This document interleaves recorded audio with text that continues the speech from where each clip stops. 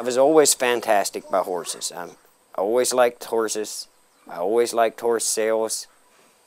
And uh, I did sell a couple horses already. I was always fantastic just just to sell a horse, you know. Horses were around my life since I was a small boy, and their our transportation was in like say a 30 mile radius or something like that. Better yet, even those small miniature ponies, I, I mean, they really fantastic me.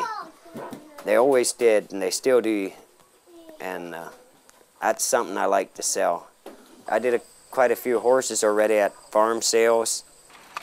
Most of the time I was really excited the way the bidding went with them. You know, I always just thought that was exciting. If they, they started going high, I always got fired up, you know.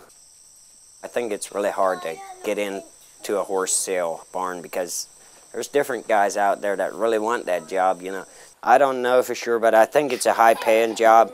But uh, that's not why I'm an auctioneer or want to be an auctioneer because of the money I could make, maybe. I want to do it because it's something I enjoy doing.